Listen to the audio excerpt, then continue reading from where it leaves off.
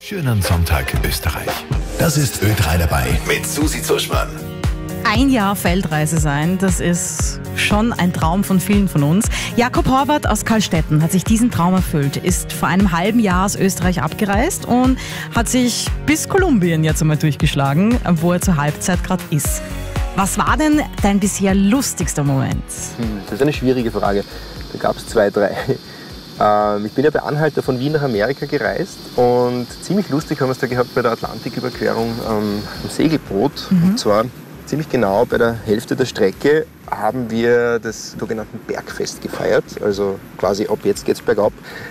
Der, der, Kapitän hat ganz groß aufgekocht und wir haben eine ziemlich lustige Party an Bord gefeiert mit ganz viel Austropop und Mitsing-Blödheiten.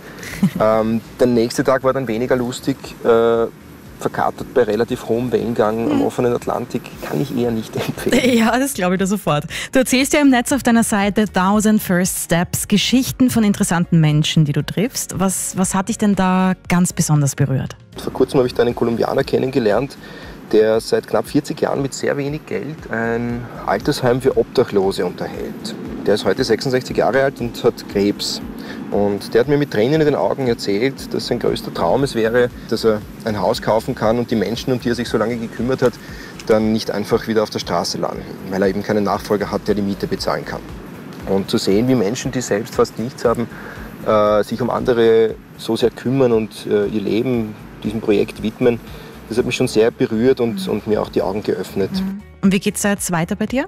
Ja, ich war jetzt über zweieinhalb Monate in Kolumbien und reise heute weiter nach Ecuador. Zuerst mit dem Bus über die Berge nach Quito, dann weiter an die Pazifikküste und danach in den Amazonas von Peru.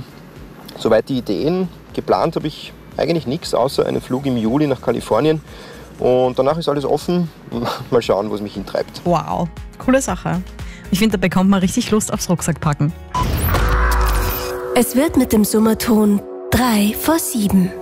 Drei Hits vor 7. Drei mal 3. Das ist Musik, Musik, Musik. Für Ihren Feierabend.